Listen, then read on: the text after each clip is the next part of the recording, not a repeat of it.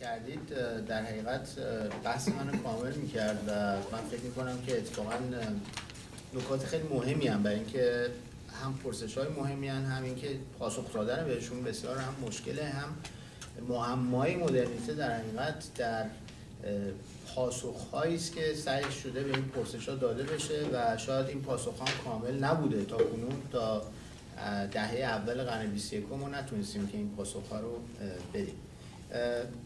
من فکر می‌کنم که چند نکته هست که تمام گفتگو بحث پرسش شما همدیگه رو کامل می‌کنه. یکی مسئله چون اکثرتون در مورد مسئله راهی و سلطه صحبت کردین در ارتباط با چیزی که من گفتم که گفتم دو مفهوم مهم مدرنیته یکی سلطه تسلط و دیگری رهایی هستش. حالا اینها درسته که با هم دیگه در تناقضن ولی به نوعی سیر و روند دنیای مدرن رو شکل دادن.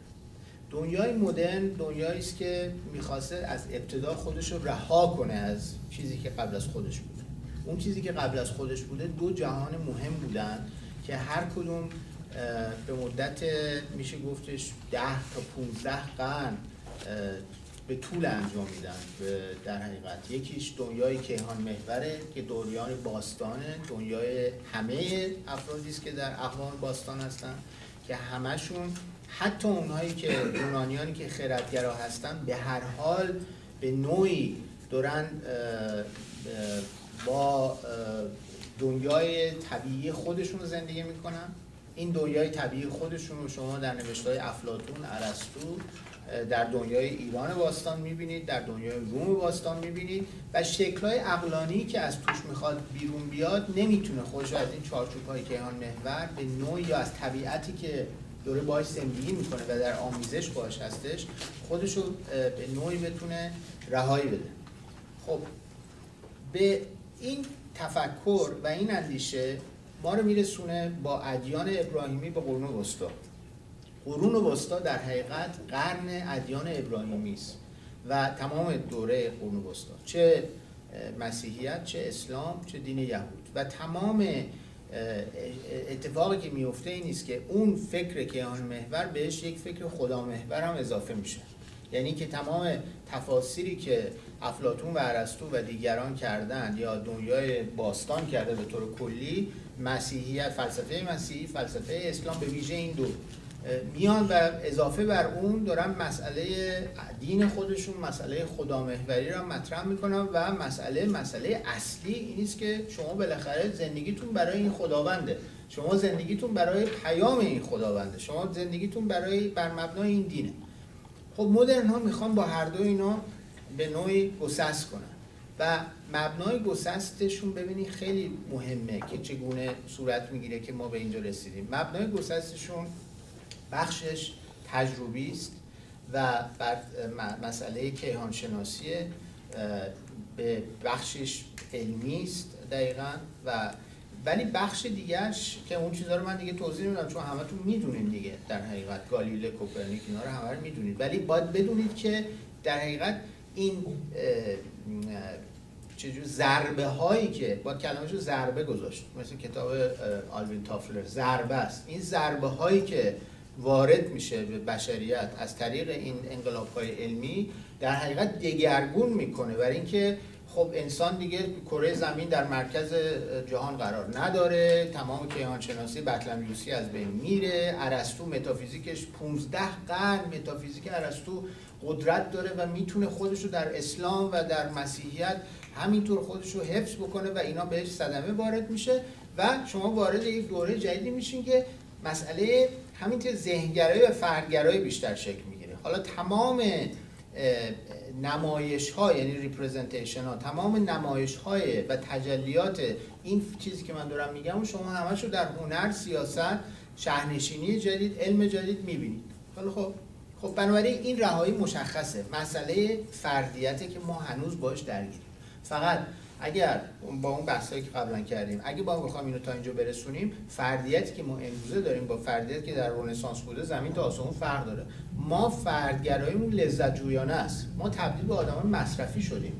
میکلانج لئوناردو یا آقای مثلا دوک های رنسانس اینا الزاما آدمان consumer نبودن. می‌دونی؟ به فردیت اهمیت میدن ولی consumer نبودن. مسئله که خیلی مهم میشه این نیست که این بخش این که انسان باید خودش رو رها کنه خود مختار بشه شما اینو در تمام این شکلهای فلسفی و سیاسی می‌بینید و مسئله مهمی که حالا اینجا خودتون درک خواهید کرد مسئله جنبش زنانه.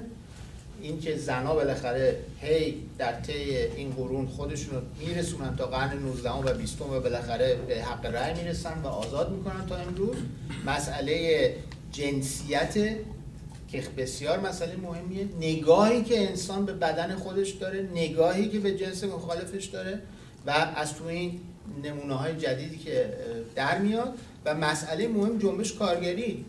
یعنی شما اقلیت هایی دارین و بالاخره گروه های اجتماعی دارین که درباره حقوقشون میان صحبت می‌کنن برای اولی چیزی که اصلا به این معنا وجود نداشته.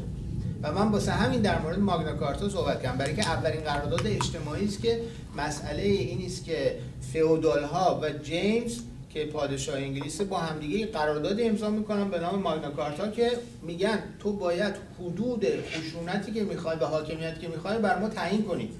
نمیشه هیچی بر مبنای قانون و ضوابط نباشه. بنابراین این ضابطه ایجاد کردن خودش از توش رهایی میاره. چون که ما امروزه داریم با قانون زندگی می‌کنیم.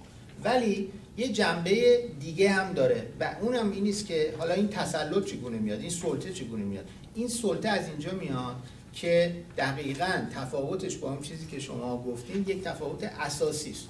این که انسان ها در دوره های مختلف قدرت فیزیکی داشته باشن یا قدرت سیاسی داشته باشن که برن همدیگر تسخیر کنن. مثل مثلا فرض کنین لشکرکشی ایرانیان حالا به روم یونان یا مصر یا مثلا یونانیا حملهشون به ایران یا جنگ هایی که می شده خیلی فرق داره با اینکه شما یک فکری رو به عنوان فکر یونیورسال جهان شمول معرفی بکنید و بگین من یک پیام در حقیقت یا یک برای خودم یک مأموریت متمدن کردن دیگری رو دارم.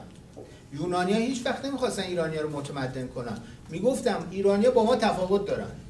و منم واسه همین به شما گفتم هرودوت و اشیل اینجا هستن برای اینکه ما بریم بخونیم. می‌بینیم دیگه چگونه دارن ما رو تفسیر می‌کنن. با اینکه ما رو دوست ندارن ایرانیا رو دوست ندارن دشمنانشونن.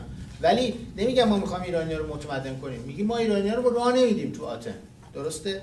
خیلی فرق داره با اینکه شما لشکرکشی بکنیم برین با کورتز و بخوایم بگیم ما می‌خوایم آمریکا رو سرخپوستان آمریکا رو بخوایم اصلا متمدن کنیم. یعنی متمدن کردن مساوی با از بین بردن در حقیقت در تمام این اتفاقاتی که افتاده. و اتفاقا مدل های کوچیکش یعنی میکروکازمش رو نگاه کنیم در آتاتورک با ارامنه و با پیام های آقای رضا و دیگران همه اینا هستش.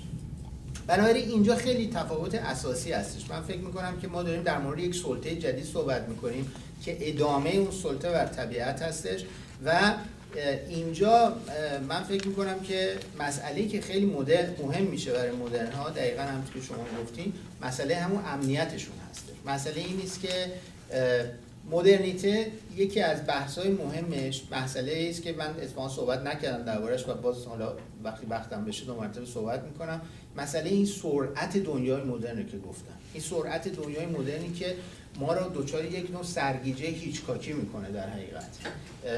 و این با خودش یه حس عدم امنیت هم میاره. این حس عدم امنیت که ما با این سرعت چگونه باید زندگی بکنیم در دوره های مختلف.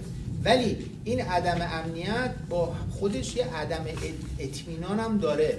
مدرنیته دنیای آنسرتنتیه به قول هایزنبرگ دنیای عدم اطمینانه. این سرعت جدید با خودش عدم اطمینان هم میاره. می‌دونی؟ و به قول راسل میگه که عدم اطمینان یکی از چیزهای مهم در اقلانیت مدرن هستش. خب بله برای این موجب میشه که ما بتونیم این علم جدید رو پیش ببریم. ولی خب ضمنا موجب میشه که نتونیم کنترل هم داشته باشیم روی اینکه از توش چی در میاد. آخرین موردی که درباره این میگم چون وقتم تموم شده اشاره و بعدها دو مرتبه پاسخ خواهم داد به قسمت های بعدی صحبتاتون. این خواه اینه که در حقیقت من برای اینکه یک وجهی از اینو بگم بهتون این است که یک داستانی واقعی هستش که اینو اتفاقا کولاکوفسکی در کتابش میگه که در کنار اردوگاه های مرگ نازی مثل آشویتس و دیگران به خاطر سوزوندن جنازه های یهودیان و بقیه در حقیقت و این کود انسانی که داده می شده یک کلم های جدیدی به وجود آمده بوده. و این کلم ها کلم هایی بوده که سر نداشتن و قابل خوردن نبودن. خب این یه تمثیل خیلی قشنگیه واسه اینکه نشون بده که عقل مدرن وقتی که حالت توتالیتر می‌گیره و حالت سلط جویانه به این صورت می‌گیره که انسانها رو می‌بره در کوره آدم سوزی و میسوزونه چگونه نتیجهش می‌تونه طبیعت هم از بین ببره و از توش یک مثل کلونینگ. از توش می‌تونه یک موجوداتی در بیاد که این موجودات حالا چه نبات باشن چه حیوانی باشن چه انسانی می‌تونن حالت حیولانی داشته باشن. و اتفاقا سلطگرای مدرن دقیقا این کار رو انجام داد.